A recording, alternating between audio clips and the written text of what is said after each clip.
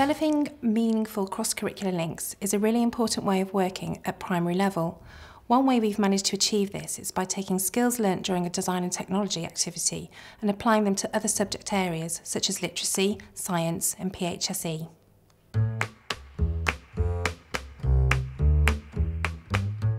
Now, if you can remember, what we've been doing already is we, in our beautiful bag project, we've been having a little think about looking at existing products, so looking at bags that are all around us, bags for children, bags for ladies, bags for men even, and we thought about who's going to use that bag and what the purpose of the bag is for. Making bags is a wonderful topic for developing children's understanding of products having and needing a user and purpose.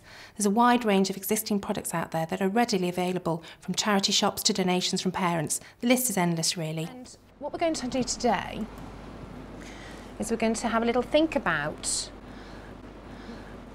when we looked at those flat 2D shapes, we've got a rectangle here, and how those flat 2D shapes can be put together to make a 3D shape. And can you remember what you call it when you have lots of flat 2D shapes and you put them together to make a 3D shape? Can you remember? We did it in our maths. One net. You also call those nets patterns. And you can have paper patterns or you can have fabric patterns. I was having my tea last night and I found a really good net can you see? That's our, fl our flat box. And we put it together to make the packaging.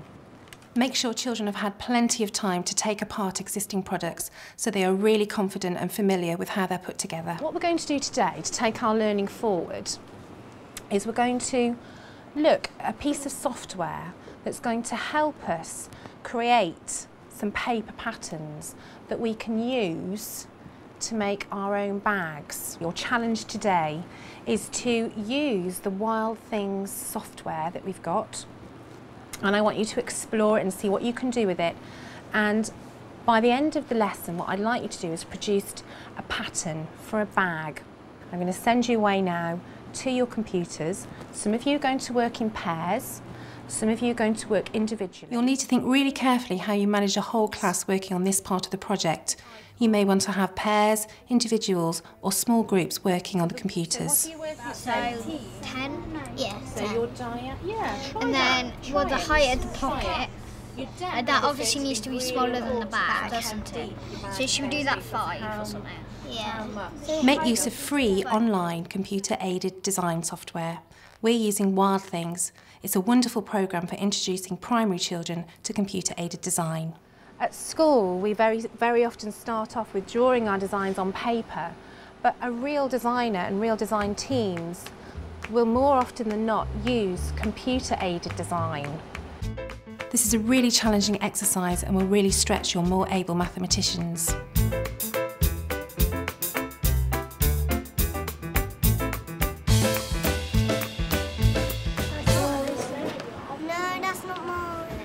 That's the bottom of yours. That's the bottom of yours. Great. So it's really helpful if you have an A3 printer or can print off using the photocopier.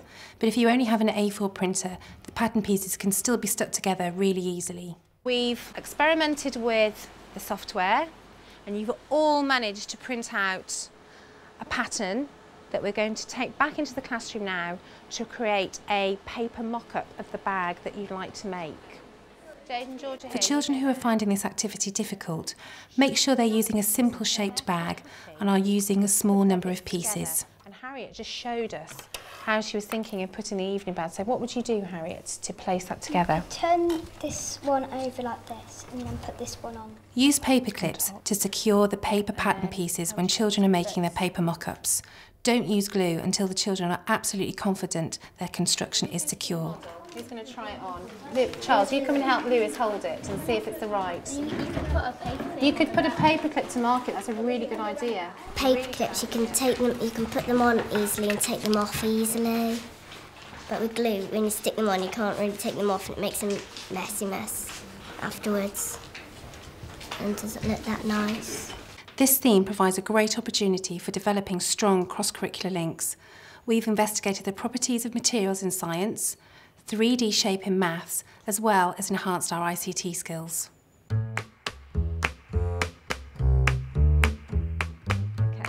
Right, children, now if you remember, um, recently we've been designing our own bags, haven't we? Okay.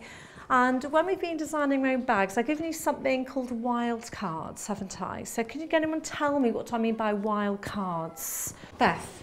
Um, they're like constraints to tell you what you need to include in your design. Well done. Normally, I use wildcards through design technology, but they can also be used through other subjects. For example, today I've used them through literacy. We've been looking at a variety of different adverts. Can you remember the type of adverts that we've actually been looking at over the last week or so? What different type of adverts? Chris? Adverts on television. Maddie? Uh, newspapers. Lily? Magazines. Children really need that previous experience of reading existing adverts where they can analyse the organisational and language features. What were the different constraints that you were given when you were designing your bag? What did you have to think about? What was our design criteria?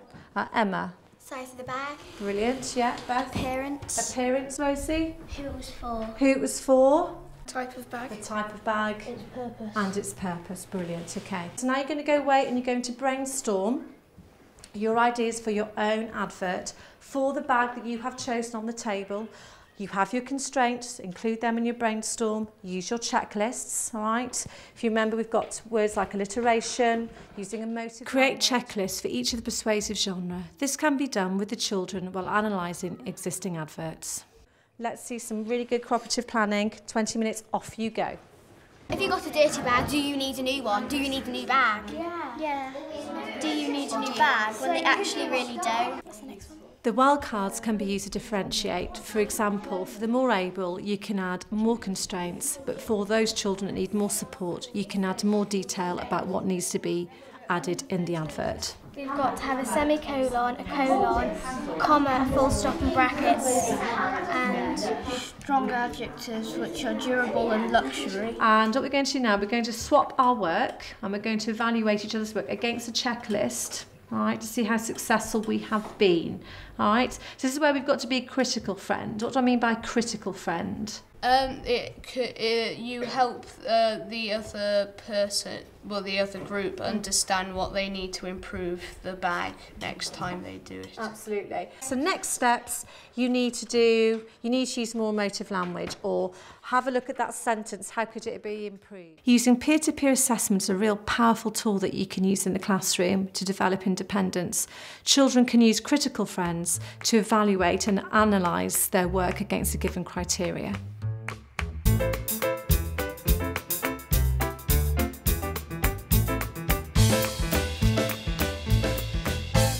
Some feedback, just quick feedback on what's been done well with these lines that we have written? What's been done well?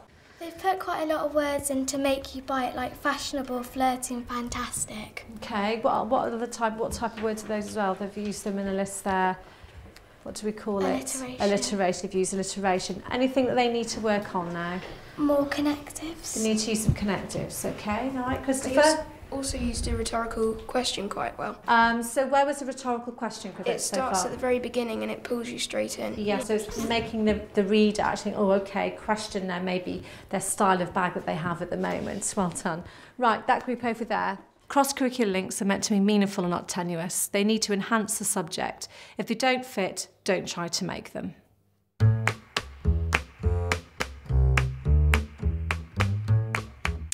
Finding examples of bags that have been made from recycled materials is really easy. Go online and you can find bags that have been made from drinks cartons, old tyres, seat belts, and plastic bags. This morning, we're going to be thinking about the three R's. So, not the history three R's. Can you think? Can you remember what those three R's that we've been talking about are? Can you remember? Lewis, you give me one. Reuse. Oh, reuse, Reduce. Yeah. Recycle. recycle. Let's reduce, reuse. In PHSE, children need to experience being responsible citizens. This project allows them to practice reducing, reusing, and recycling firsthand. And I've been online and I've found some fantastic examples that we can have a look at this morning. And I've actually got some examples that people have made themselves from reusable materials that they've recycled. And I'm sure you're going to be like me, you won't believe what bags are made from. Now I've seen these in lots and lots and lots of shops at Christmas time in particular, so have a closer look. Can you think what they're made from? I'm really good. William, what do you think? Uh, are they little juice cartons? They are juice cartons. They are the little ones, little squishy ones. And this is what it said about it. Because that's non-biodegradable. That means it won't rot away when we put it in the landfill site. So it just stays there forever and ever and ever. And it litters the streets and it just sort of stays there and it's just not very nice. So that is a really good example how something's been reused and recycled. Charles, if you'd like to empty the big bag of our salvageable materials and we'll see what we've got. Uh, brilliant, thank you. So I want you to sort through it, have a look, really look at the fabric, see what is going to be really good for your bag. Work smartly and use science to help the children find out about the properties of the materials they will be using. They can find out if they're waterproof, how strong they are and how durable they are. What can I do? What do you think I could do? What would I do, Jade? You should do a science experiment and see if it's waterproof or not. So you could use it for an outside bag, and if it wasn't, you could just use it for a shopping bag. A shopping bag. I think that's. I think that's a really good idea. So you could choose three, two or three materials to test, which would be the best one. This is a great opportunity to develop children's speaking and listening skills. They need to be able to offer clear explanations using appropriate vocabulary. What do you think this would be good for? You'd what do you use think? it inside of a bag because it tears easily, so you wouldn't want it outside, and it would. Uh, it's not really waterproof, so Absolutely. you'd have it so in a bag that you put lots of like precious stuff in because it wouldn't smash in the thing because it would just ha- it has protection. It would, it would, it's it would nice and protect it. It's very soft. What else might you use Mm, sort of quite thick material for? Lots of layers of material for? Ins Insulate. insulate. Well done. It would help insulate. So if you were making a Make sure that when children are working with fabric, they're also using the correct equipment, such as fabric scissors and proper dressmaking pins.